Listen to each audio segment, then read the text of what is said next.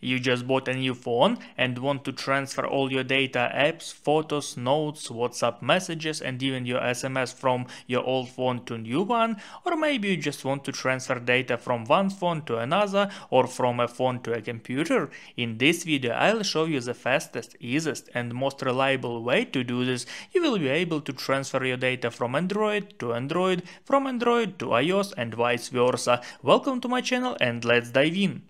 There are different methods and apps from manufacturers for transferring data, but many of them are slow, inconvenient and often do not transfer all the data we need. That's why it is the most convenient to use a universal app called Wondershare Mobile Trans.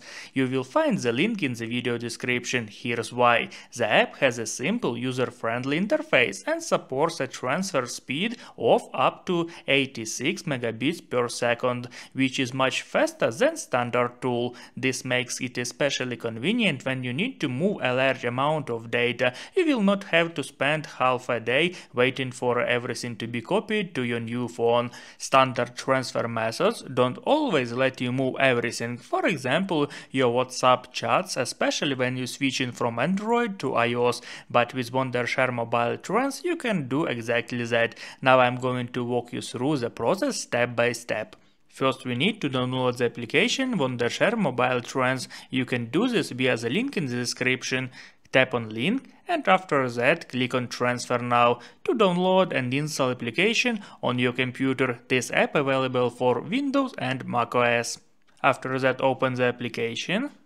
Now you see the app interface. With this app you can transfer all data from WhatsApp, both personal chats and business chats.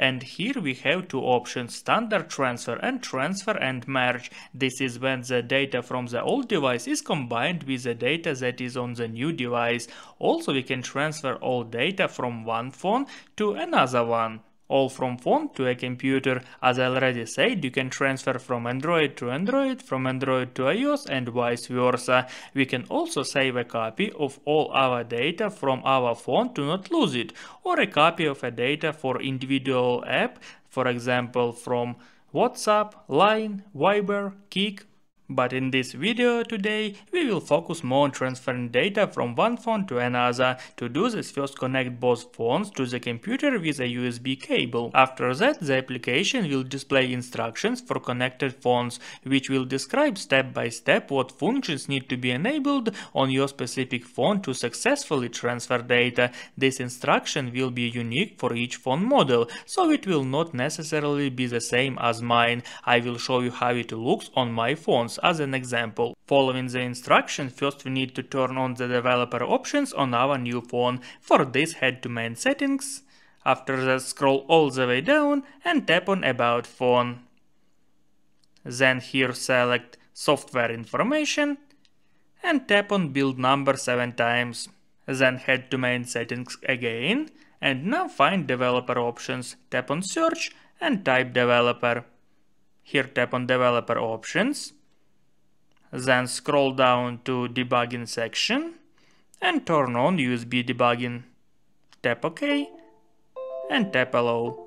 And on the new phone we do the same head to main settings. After that tap about phone. Here scroll down to OS version and tap on that 7 times. Then tap back, tap on search and type developer. Open developer options here scroll down to debugging section and turn on USB debugging. Now we see that the phones are correctly connected to the computer and we can begin the transfer process. For this in the left pane select phone to phone and as a source select your old phone. And as a destination select your new phone. Then in the right pane select what type of content you want to transfer, for example contacts, videos, call logs, calendar, ringtone, apps and so on. Or maybe you want uh, to transfer all data, then select all data. After that tap start and wait for the process to complete. After that, all the data that was on the old phone was transferred to the new phone, applications, photos, videos, messages and so on. If you want to transfer WhatsApp data from your old phone to the new one, then the process looks similar. Just select in the left pane WhatsApp, then select your old phone here and choose your new one.